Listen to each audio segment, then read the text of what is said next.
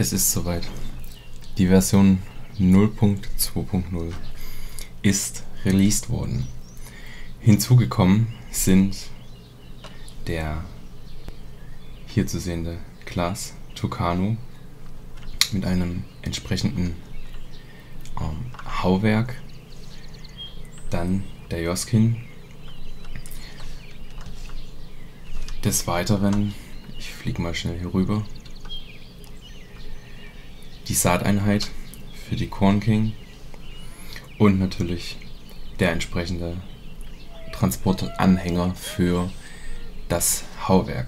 Aber ich würde sagen, wir schauen uns das Highlight direkt erstmal an, den Glas Tucano. Ich schlage vor, wir gehen eine Runde außen rum und dann setzen wir uns mal rein. Ähm, geliefert wird er mit dem Vario 930 Schneidwerk. Hier oben Spurführung zu sehen. Die Verstellung hier mit der Maus. Äh, beziehungsweise mit dem der Haspel, die wird äh, möglich sein dann über ähm, die Maus sowie über den Joystick, wenn ihr das darauf gelegt habt. Äh, ja, was könnt ihr hier noch einstellen? Einige Sachen sind nur von innen zu bedienen, ganz klar. Ähm, die Tür, machen wir schon mal auf, aus der Weite. Das, äh, der Transportanhänger lässt sich hier hinten natürlich ankuppeln, nachdem ihr das äh, Mähwerk draufgelegt habt, äh, damit ihr ganz anständig zum nächsten Feld fahren könnt. Wir fliegen mal hoch. Jetzt muss ich mal schauen, ob wir hier stehen können. Jo, das geht. Und ihr seht auch hier wieder, Wahnsinnsdetails, die hier vorhanden sind.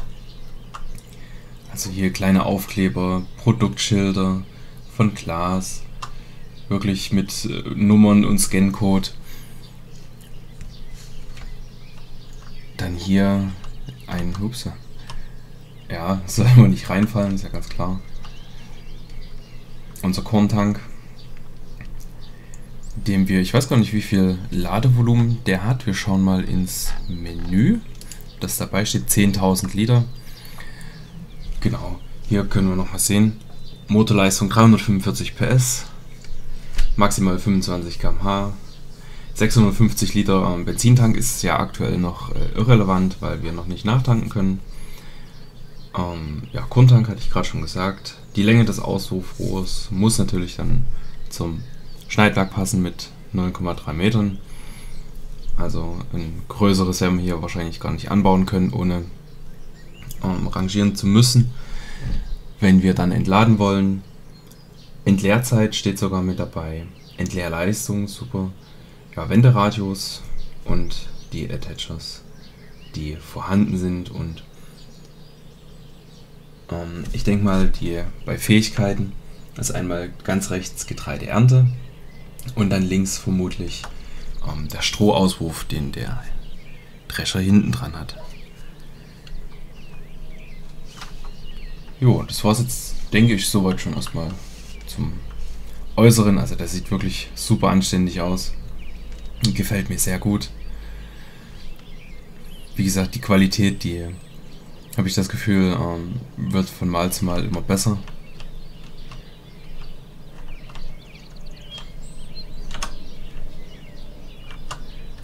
Hier überall Warnschilder und Dinge, die Beachtung finden sollten.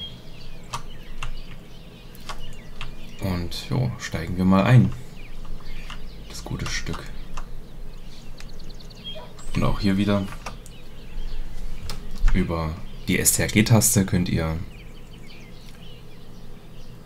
Das ist die Parkbremse. Sehr gut. Dann hier die, den Lenkradstock könnt ihr verändern. Zum einen aussteigen, den Winkel. Ja, die Tür geht auch wieder zu. Hier oben die Beleuchtung. Schalten wir alles durch. Rundumleuchte geht. Dann die Arbeitslichter, alle die hat.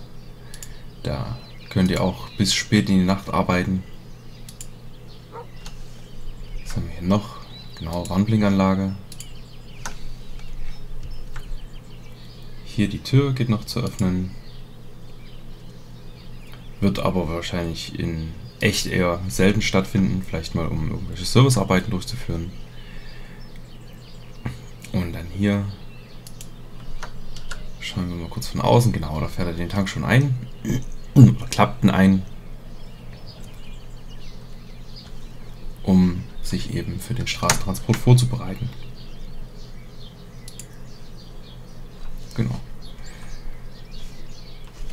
Dann könnt ihr ja, ganz normal die Maschine starten und eigentlich schon, so ihr denn schon habt, in euer Getreidefeld hineinstechen. Und wenn ihr das dann gemacht habt und den Tank entleeren müsst, da bietet sich das natürlich an, den Joskin 5025 zu nutzen, der ja, gute 10 Tonnen Fassungsvermögen hat. Ähm, da kann ich euch jetzt gerade gar nicht sagen, wie das aufgeschlüsselt ist. Der hat ja 10.000 Liter. Er hat 12,1 Kubikmeter. Müssen wir dann im Let's Play mal schauen, wie viel Mähdrescher wir hier drin abtanken können. Aber dazu dann sicherlich später mehr. Und auch hier wieder Warnschilder. Ziehen Sie die Schrauben nach. ja, gut, ziehen Sie die Schrauben nach. Ich dachte, da kam noch was, deswegen klang das so komisch.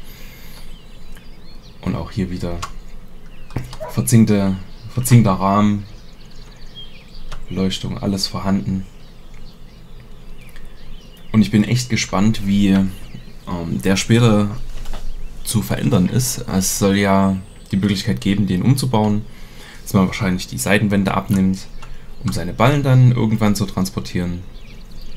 Oder vielleicht sogar eine Überladeschnecke hinten, hier hinten anbaut an die Rutsche, um seine Sämaschine zu befüllen. Vielleicht noch ein, eine Plane oder sowas, vielleicht das noch geplant. Also das weiß ich nicht. Könnte ich mir aber durchaus vorstellen. Seht ihr die Spannketten mit die Bordwände nicht auseinandergedrückt werden. Leiter hier klappt hoch. Und jetzt was abgekackt. Hui. Die Leiter klappt. Keine Ahnung, wie das jetzt passiert ist. Die Leiter klappt hoch. Beim Anhängen an den Anhänger genauso wie der Stützfuß. Hier könnt ihr die Handbremse dann lösen. Ihr seht auch da, da bewegt sich was. Hier, das, das ist total cool, das habe ich jetzt gerade erst gesehen. Moment. Das mal etwas. Na. Achtet mal hier auf das Drahtseil. Jetzt ziehen wir die Bremse wieder an. Oh, ist das cool, oder? Wahnsinn. Also, ich bin wirklich hellauf begeistert von der Qualität wieder die Entwickler, glaube ich, äh, übertreffen sich hier mit jedem neuen Update immer mehr. Und wenn man bedenkt, in welchem Status wir uns noch befinden, das wird einfach nur der Wahnsinn. Ja, jetzt natürlich äh, zu dem Gerät, ohne dass das andere keinen Sinn macht. Die Hammer Corn King, die hatten wir ja schon. Ich steige mal in den Schlepper, um euch das besser zu zeigen.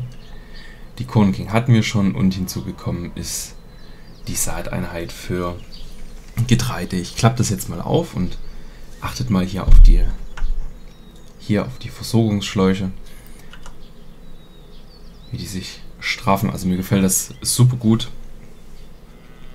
Und wenn ihr dann das richtige Saatgut eingefüllt habt, da könnt ihr dann auch loslegen und eure eigenen Felder bestellen mit dem Getreide, die pflegen, um dann mit dem Tucano loszulegen und die erste Ernte einzufahren.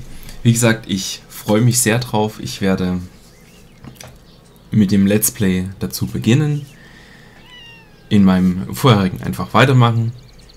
Jetzt halt eben mit dem Getreide und ich freue mich da sehr drauf. Ich danke euch unheimlich fürs Zusehen. Danke für die Abos, die ihr mir da lasst und die Däumchen. Und ich hoffe, wir sehen uns dann im nächsten Let's Play Teil, in dem wir uns an die Getreideernte machen. Beziehungsweise erstmal an die Aussaat. Und bis